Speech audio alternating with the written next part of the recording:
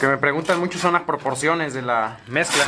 De la mezcla, la proporción de la mezcla, este, pues a un bulto de cal se le pone, dependiendo de la arena, el gruesor de la arena. Hay arena muy delgada, se le ponen a 4 a 5 botes por bulto de cal. Cuando la arena es algo gruesa, pues se le ponen 3, dependiendo de la consistencia que, que usted le quiera dar a la, a la mezcla. Y para, para un bulto de cemento se le ponen 4 bultos, 4 bultos de cal, ya multiplicado por la porción de arena. Esa es la cantidad que se le pone a la, a la mezcla. Y la cal, pues donde quiera la consigue, el cemento donde quiera lo consigue. No es una mezcla muy eh, especial.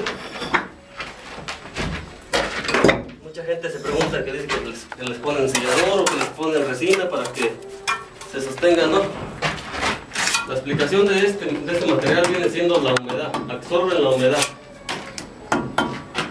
Por eso es que se detiene. Pero si lo pegamos en mojado no se detiene. Entonces el ladrillo va seco. El ladrillo va seco. Si si lo ponemos este, mojado no se alcanza a detener. No absorbe nada. Por lo contrario, pues se viene para abajo. Y otra explicación bien muy lógica de la bóveda no se cae porque viene siendo en curva, un arco. Es un arco. Si yo le pierdo la vuelta al arco, se me viene hacia abajo. Pero mientras tenga vuelta, no se cae.